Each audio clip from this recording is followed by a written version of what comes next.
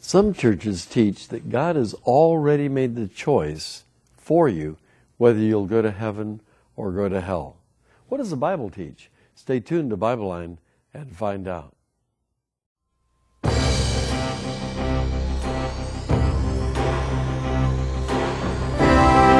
Welcome to Bible Line Ministries with Bible prophecy expert, radio talk show host, and pastor, Dr. Hank Lindstrom.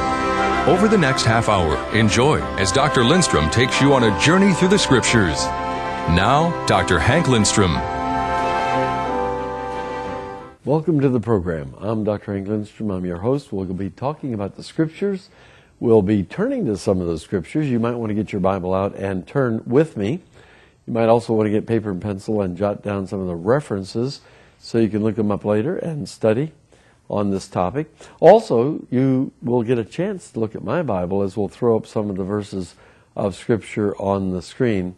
But uh, hopefully, uh, you will enjoy this uh, series. A lot of people have been frightened by the whole doctrine of predestination, and they teach basically that God has already made the choice for you, whether you go to heaven or go to hell and that you don't have a choice. And uh, that's kind of scary, isn't it?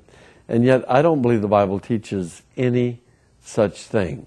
The Bible divides the world into two groups those that believe and those that believe not. And it's quite apparent in the Bible that you have the choice to decide which group you're going to be in. Look, if you will, at John 3.18, where it says, He that believeth on him, on Christ, is not condemned. But he that believeth not is condemned already because, it says, he hath not believed in the name of the only begotten Son of God. Notice here two groups those that believe and those that believe not. And those that believe not are condemned already. And the reason why is because it says, He hath not believed in the name of the only begotten Son of God. So here we have the unpardonable sin. It obviously is unbelief. And if you die rejecting Christ, you'll go to hell. And if you are right now an unbeliever, then you're already in a condemned state. And the reason why you're condemned is because you haven't believed in the name of the only begotten Son of God. But the one who believes on Christ is not condemned. Isn't that amazing? So it's, it's clear in the Bible that uh, there's a choice to be made. And the choice is to trust Christ or not trust Christ. And those who trust Christ are not condemned. Those that do not trust Christ are condemned already. And they're condemned not because they lied or stole or cheated or murdered or committed adultery or any other sin. They're condemned according to the verse because they have not believed. Wow. So you can know right now which group you're in. Are you in the group that have believed on the Lord Jesus Christ? And that group, according to the Bible, is saved. So what God has determined, obviously, is which group is saved and which group is lost.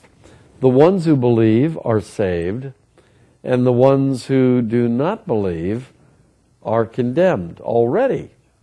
And the reason why they're condemned is because of their unbelief. Nowhere does it ever tell us that God makes the choice for you. So everybody in the human race has an opportunity to believe or not believe on the Lord Jesus Christ. So when we talk about predestination, the Bible clearly tells us that God has predetermined that those that would believe would be saved but those that would not believe would be lost. So the ones that believe are not condemned, but the ones that believe not are condemned already, and they're condemned because they have not believed on the name of the only begotten Son of God. Pretty simple, isn't it? D.L. Moody, the great evangelist, simplified it, I think, as best as anybody ever will. He said, The whosoever wills are the elect or the chosen, and the whosoever won'ts are the non elect or the non chosen. So the choice is simple to believe or not believe. Now, if you're not a believer right now in Jesus Christ, then the Bible says you're condemned right now. and you're condemned because you have not believed. And obviously, that condemnation will take you into eternity away from God or apart from God in hell forever and ever and ever. You don't want that to happen to you. You would rather, I'm sure, be in the group that will be saved, and that group is those that believe on Christ are not condemned. Let me give you another verse right here in the same chapter where we find similarly the same concept. In John 3:36 it says, "He that believeth on the Son hath or has in modern English everlasting life." So if you're a believer, you have everlasting life. But then he goes on to say, "He that believeth not the Son shall not see life, but the wrath of God abideth on him." So we have here again two groups, those that believe and those that believe not. Those that believe have eternal life. Those that believe not shall not see life, but the wrath of God abideth on him. So again, notice there are choices. And if God has made the choice for you, there wouldn't be any choices. But God has given us a choice. If you believe, if you trust Christ, then you will have, at the moment you believe, everlasting life. But if you do not believe on Christ, then the Bible says you'll never see life. If you die in that condition, you'll go to hell. And it says the wrath of God abides upon that unbeliever. Wow. So where do you stand with God? Right now, you can tell me which group you're in, and I'll tell you which group is going to go to heaven. It's the believers. So if you're in the group that is a group of unbelievers, you're in the group of those that have not believed on Christ, then the Bible says that you're condemned already, that you'll not see life, that the wrath of God will abide upon you forever. But if you're in the group that believes, the Bible says here in verse 18 that you're not condemned, and in verse 36 that you possess right now everlasting life. Pretty plain, pretty clear, and I think that uh, it doesn't have, you don't have to be a rocket scientist to figure this thing out. But the choice is yours. God has determined what happens to each group dependent upon their choice, but the choice is yours. So, where do you stand? I hope you're a believer. I hope you've trusted Christ as your Savior. And if you have, then you can be assured of going to heaven whenever you die. We're going to turn now to another passage, and this is over in uh, Romans chapter 8. And here it says in Romans 8:30 or 8 rather 8:29 for whom God did foreknow he also did predestinate to be conformed to the image of his son. Now this is an interesting verse and again a lot of people just read this and they get scared. But it says, whom he did foreknow. Now, God knows the future naturally. It's because God is not bound by time. God does not know the future because he has made your choice for you, but he knows the future because he knows the future before it happens because God is not bound by time. And so he knew there would be a group of people that would believe. And so, whom he did foreknow, he also did predestinate. So he foreknew that there would be those who would believe. And he predestinated all of them to be conformed to the image of his son. What does that mean? That ultimately, when you die, you will be conformed to the image of Christ in that you'll have a body like his resurrection body. The Bible tells us that. The Bible tells us that you'll be without sin and not capable of sinning anymore. The Bible tells us that you'll have a resurrection body that will last forever, as you will live in the presence of God forever and ever. And uh, you will be uh, like Christ in that he was without sin and that he was perfect in God's sight. And you will be seen by God as though you were just like Jesus. That has been predetermined for all that God foreknew that would believe. But here's the tricky part God did not know who would believe because he made their choice for them. But the very opposite is what the Bible teaches. So, he naturally knows the future, but he doesn't make your choice for you, and nowhere does it ever say anything different. We find also, it says in verse 30, moreover, whom he did predestinate, them he also invited to be saved. And uh, whom he invited, he also then justified, and whom he justified, he uh, also glorified. So, what it's saying here is that he gave an invitation. The word call means to invite. He invites everybody in the world to become saved. And if you become one of those who choose to trust Christ, then you are one of those that He's predestinated to be conformed to the image of Christ and to go to heaven to have eternal life and so on and so on. But God has not made your choice for you. He invites you to be saved, but the choice is yours as you respond to His calling or His invitation. So the Bible, again, is very clear that uh, the choice is in your ballpark, and you are responsible to choose Christ. But if you die without Christ, you'll go to hell. But if you trust Christ, then the Bible says that He's predetermined that all that trust Christ will go to heaven. They'll be conformed to the image of Christ's Son, and uh, they will live with the Lord forever and ever and ever in heaven. One of the passages that seems to cause some people some problems is Romans chapter 9, but it's simply because they don't read it very clearly. It says here, For the children, being not yet born, neither having done any good or evil, that the purpose of God according to election might stand, not of works, but of him that calleth, it was said unto her, The elder shall serve the younger. Now, people read this and they say, look at this, these children weren't even born yet. They didn't do any good or evil. And uh, it was said here that the elder shall serve the younger before they were ever born. Now, what it is not saying here is that God chose who would be saved and who would not be saved.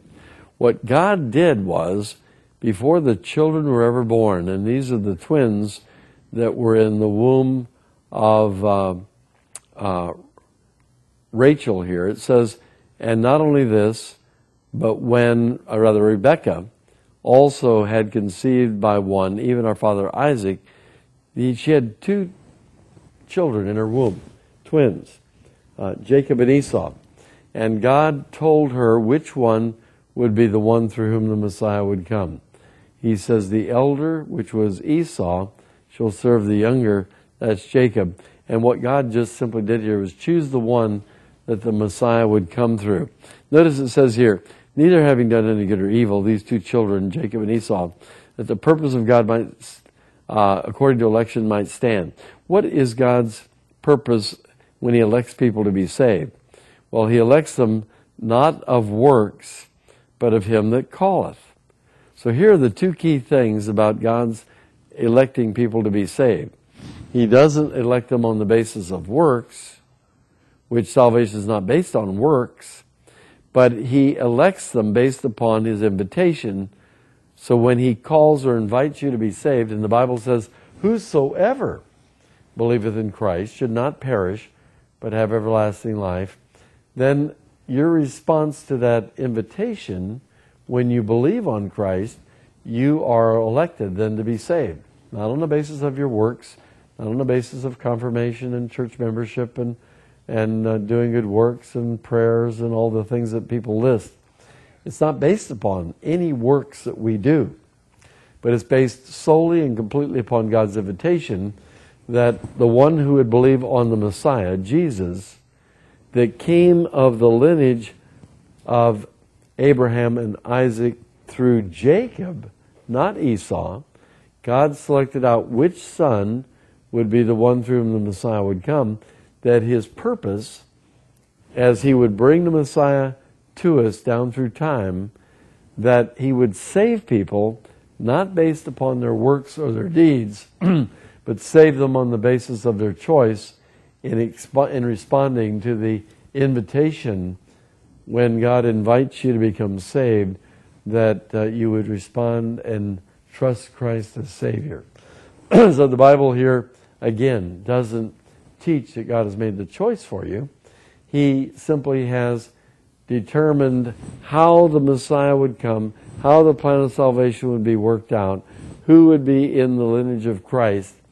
But he chooses to save people when he elects them to be saved, not on the basis of their works, but simply as to their response to the invitation. Now the invitation is in John 3:16. For God so loved the world, that's all of the human race, so that he gave his only begotten son, that's Jesus Christ, that whosoever, here's your invitation, God invites you to believe on Christ.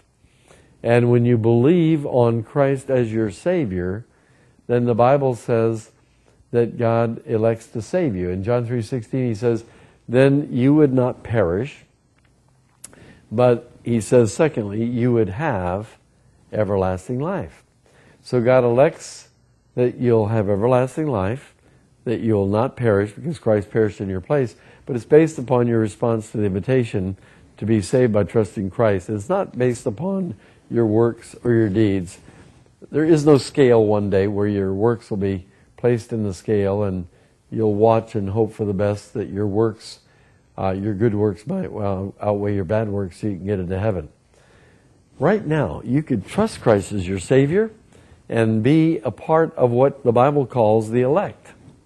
The elect are the chosen or the one God elects to be saved, but he elects you to be saved based upon your response to the invitation of John 3:16 that whosoever excuse me that whosoever believeth in him should not perish but have everlasting life. So have you ever done that? Have you ever trusted Christ? If you do, trust him. God elects to save you not based upon your works, your deeds, your behavior, but he elects to save you based upon what Christ did for you and your response to the invitation to trust him as your Savior. You could trust Christ right now. You could whisper a prayer between you and the living God. And you could say something like, God, I admit that I'm a sinner. And we all are. You could say, I don't understand a whole lot about the Bible. And most people don't. But what you've heard so far, I hope makes sense. And you could say, God, I believe what I've heard that God so loved the world, that meant me. That he gave his only begotten Son, that's Jesus Christ. That whosoever believeth, that's me. If I would believe in Christ, I would not perish. I would have everlasting life. And you know, the moment you respond to that, that invitation and believe or trust that Christ died for you, God saves you. And from that moment on, you can be sure of going to heaven. Now, God did pick Jacob over Esau as the one through whom the Messiah would come. But he never chose Jacob to be saved and Esau to go to hell. That was not what it's saying. But in order that his purpose, according to election, how God would elect people to be saved, how the Messiah would come into the world, he'd come through Jacob, not Esau, and God would choose to save people or elect to save them, not on the basis of their works, but on the basis of their response to God's calling or invitation. And basically, God says uh, that He invites everyone. Whosoever believeth that Jesus Christ died for them, God says they would not perish, but they would have everlasting life. I made that choice when I was 18 years of age. It was the best choice I ever made in my life. And right now, I still possess eternal life. I received it when I was 18 and will possess it forever and ever and ever and ever. You too can receive this wonderful gift of everlasting life by simply trusting Christ as your Savior. And if you've never done so, then this is the best chance right now for you. While you're thinking about it, while you're confronted with it, just tell the Lord that you trust Christ as your Savior. I'm Dr. Hank Lindstrom, and we have lots of resources at Bible Line to help you grow and develop CDs, DVDs, books, Bibles things that I recommend, and uh, we want you to take a look at a few of those. Also, you can help Bible Line stay on the air by your gift to Bible Line. maybe by credit card. I'm going to take a short break, show you some of the products. We'll come right back and finish up the program. So please don't go away. We'll be right back after this short break. This program that you have been watching is a part of a 65 minute DVD video presentation that you can order. And uh, you might want to get the full teaching that the program you just watched is only a part of. You might notice we have lots of these DVD presentations on many different topics the two judgments, the rapture, repentance, faith without works, uh, is the Bible the Word of God, and many others. And these will be great for you to not only learn the Word of God, but also to uh, use in teaching situations in a class or whatever. And uh, you might want to order them. They're for $20 each plus shipping, and we can get these right out to you. But we have many topics, and you can call for a resource list, or you can uh, look on our Bible Line Ministries .org uh, website where you can look at a picture of all these different uh, DVDs that are available. This is a gospel tract that really works. It's a quiz. We uh, we uh, have them available for a hundred for fifteen dollars. It's a quality paper.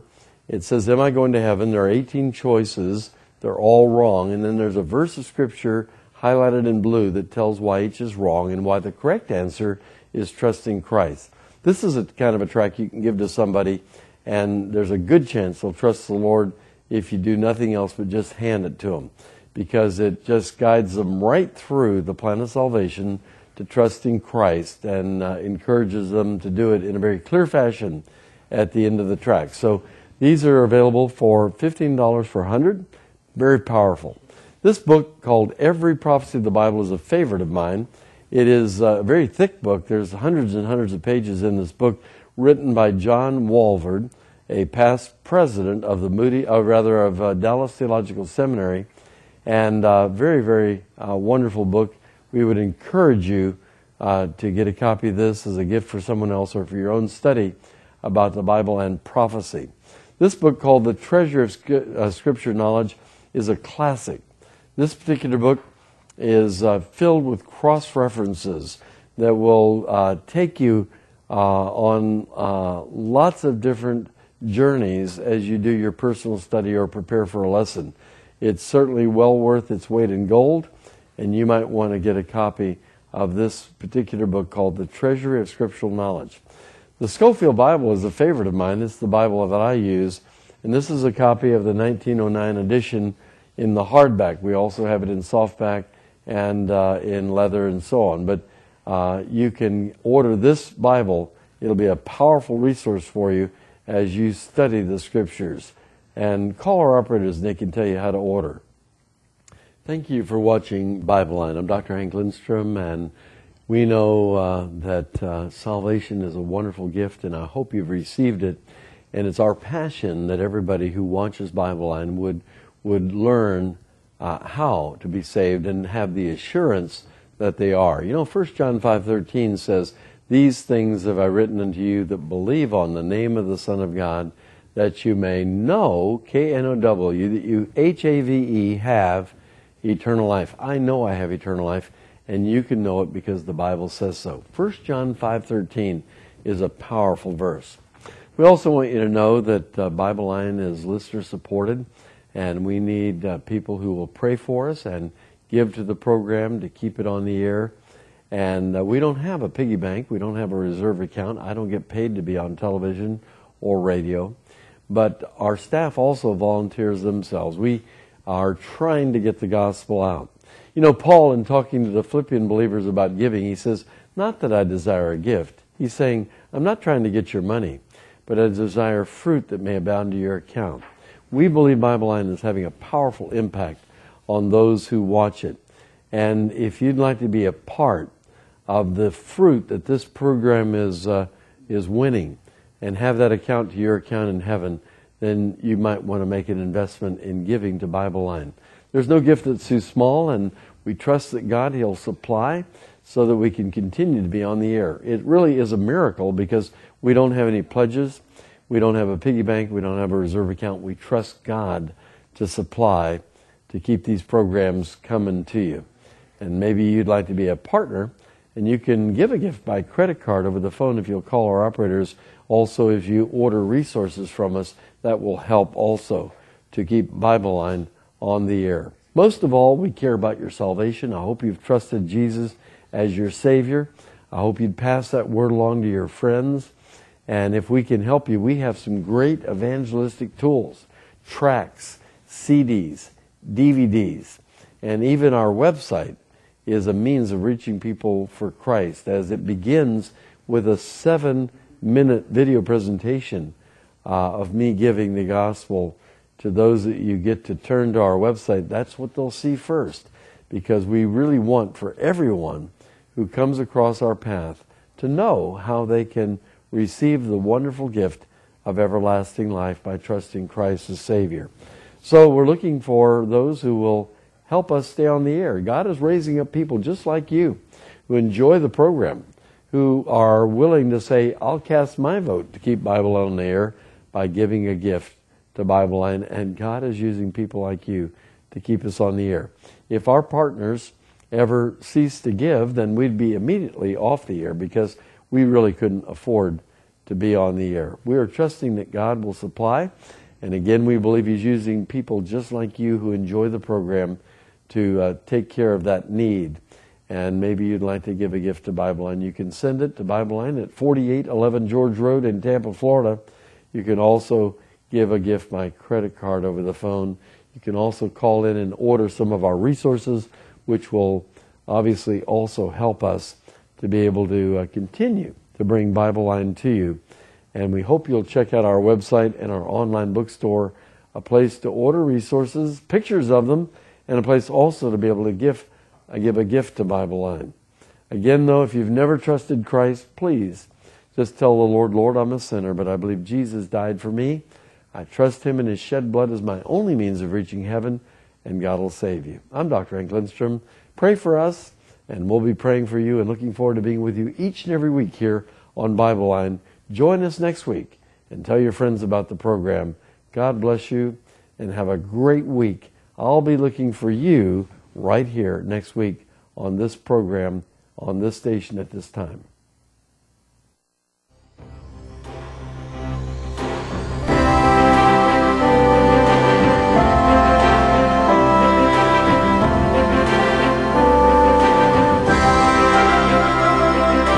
Watching Bible Line, a presentation of Bible Line Ministries of Tampa, Florida. Your donation to Bible Line makes it possible for this ministry to continue. Bible Line's address is 4811 George Road, Tampa, Florida 33634. To order from Bible Line, call our toll free number at 1 800 576 3771. That's 1 800 576 3771. Or visit Bible Line online at BibleLineMinistries.com or .org. Be sure to watch next week for another edition of Bible Line from Calvary Community Church in Tampa, Florida.